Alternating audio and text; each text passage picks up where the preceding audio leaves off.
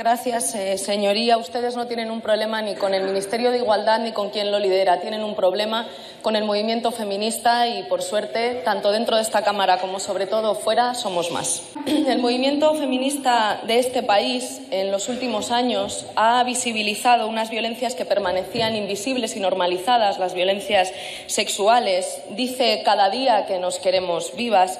Ha dicho no es abuso, es violación. Hermana, yo sí te creo. Ha puesto el reparto de la riqueza, del tiempo y de los cuidados en el centro. Ha dicho si nosotras paramos para el mundo, las mujeres son las que sostienen la economía y la vida. Ha dicho que los derechos de las personas trans y LGTBI son derechos humanos.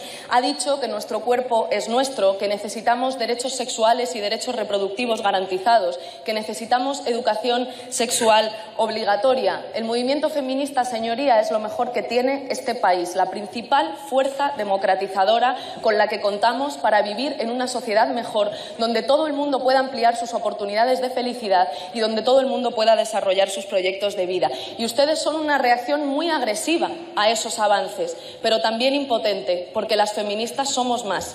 Así que lo único que quiero hacer en este minuto es recordarle a todas las mujeres que están sufriendo una situación de violencia machista que el Estado está de su lado, que el Estado las cree, que pueden llamar al 016 y recibir atención psicológica, asesoramiento jurídico, todo el apoyo que necesitan por parte del Estado y sin necesidad de poner denuncia, que ya no tienen por qué seguir viviendo con la culpa, con el miedo, con la sospecha permanente de ser ellas las culpables de la propia violencia que sufren y que tienen un Estado de su lado que las cree. Muchísimas gracias.